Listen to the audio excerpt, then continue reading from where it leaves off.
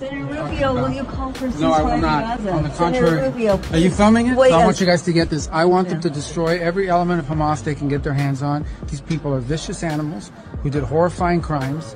And I hope you guys post that. 'cause And that's what my about the position. civilians I that are being Hamas. killed What- every day? Hamas should stop hiding behind civilians, putting civilians in the way. Hamas knew that this was going to lead to this. So Hamas should stop building their military installations underneath hospitals. So you don't care civilians. that 15,000 Absolutely I have do. died. You don't care about the babies that are I being care. I killed think every it's day. horrifying. I think it's Yeah. terrible, and I think Hamas is 100% to blame.